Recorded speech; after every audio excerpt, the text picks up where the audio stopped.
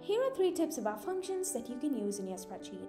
Number one, let us say I've used a formula here that is A2 plus B2 gives me C2, but whenever I try to copy and paste this data into a different column, it gives me a completely different data. And that is because the cell reference here is also changing.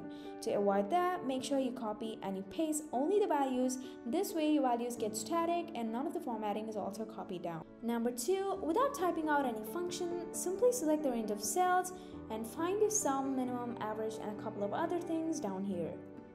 Number three, I've used a simple interest formula here, but I haven't specified the interest rate 18% is common for the rest of the rows, and that is why it is returning the value as zero for the other rows.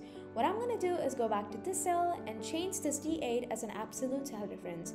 Instead of giving in the dollar symbol between D and 8, what I'm gonna do is press the F4 key and switch between options of what I want and stick to this. So click enter.